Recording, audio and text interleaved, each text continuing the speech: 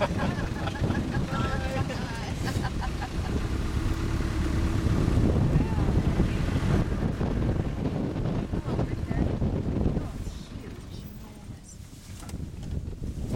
called him. I told him we went to see him.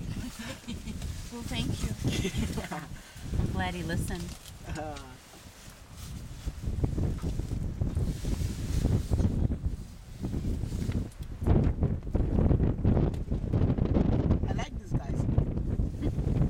So nice and calm.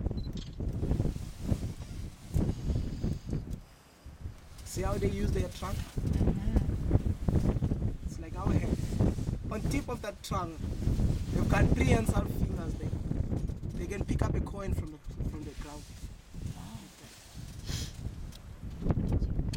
And it actually has got uh, plus minus sixty thousand muscles in it.